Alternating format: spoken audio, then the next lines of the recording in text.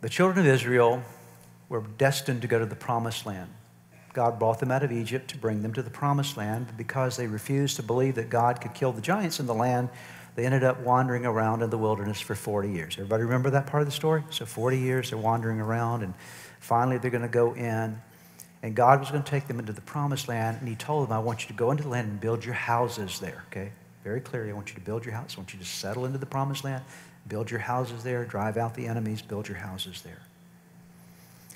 Before they went in, Moses gave them some very clear instructions about what to do in regard to their houses when they got there, how to build well.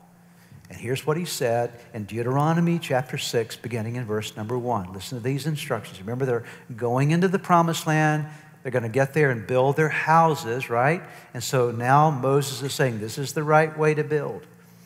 These are the commands, decrees, and laws the Lord your God directed me to teach you to observe in the land that you're crossing the Jordan to possess. So, so Moses says, You got to remember these are commands, decrees, laws that God gave me to teach you to pay attention to and observe when you get into the land. When you get over there and you start building your houses, don't forget this. Don't forget the commands, the decrees, and the laws. Now, notice verse number two. So that, the reason you need to do this is so that you, your children, and their children after them may fear the Lord your God as long as you live by keeping all his decrees and commands that I give you, and so that you may enjoy long life. You have two so that's there. So that, so that number one is obey the commands, the laws, the principles that I'm giving you, that I'm teaching you from God's word, so that your children and your children's children may have a good legacy, and so that you may enjoy long life there.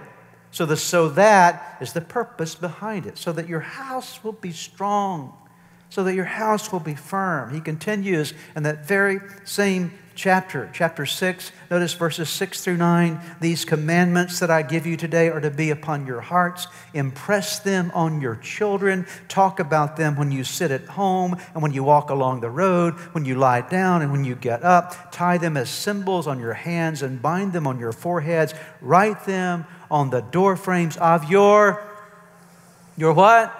Your houses and on your gates. God says when you get over there in the land, don't forget the commands and the laws of God. Build according to the commands and the laws of God.